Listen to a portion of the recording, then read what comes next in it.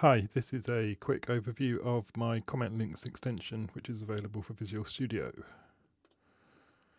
So here you can see a C++ file and it's got some comments and in the comments are some little green squares. These are buttons we can click on and it will take us to the named file and in this instance it will take us to the specified line number. So I'm going to click here and it's going to open the file and it's taken me to line 30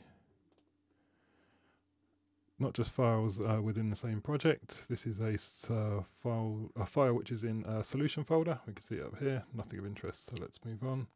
We can um, look, for, not just open certain lines, we can also look for um, specific text. So this is going to open a file in another project within a solution, and it's going to take us to where it finds the text A3. And here it's done that, and it's moved to line 29 where that text is. Um, if we want to search for something with spaces, we could either um, percent encode it, so percent 20 like in a URL, or we can wrap it in quotes, so we can wrap the whole thing in quotes, including the file name if the file name included spaces, or we wanted to specify a folder which had spaces in it. Um, file was already open and now it's just jumped to the line where that specified specified text is. We can also um, open files by specifying the exact uh, location on disk, because this is going to open a file on my desktop not very exciting.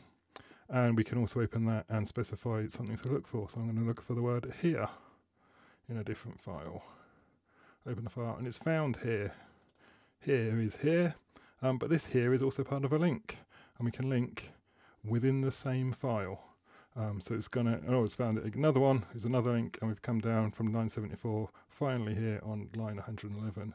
You see I've been using links in text files, in C++ files, it works in JavaScript, it works in HTML, it works in C Sharp, it works in anything.